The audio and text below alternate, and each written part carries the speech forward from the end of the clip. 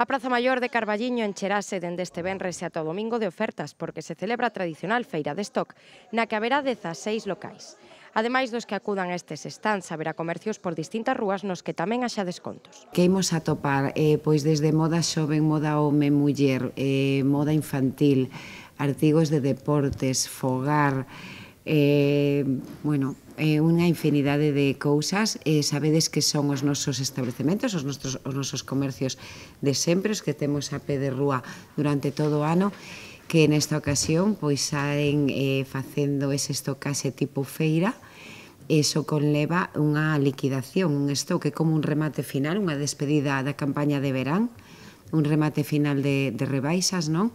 Na que, pois, como sempre, os prezos pois son moito máis eh, apetecibles. Este proxecto leva máis de 20 anos en marcha e funciona cada ano. É unha forma de atraer visitantes que invistan no comercio local e que posteriormente ao longo do ano acudan os comercios da vila a consumir os seus produtos.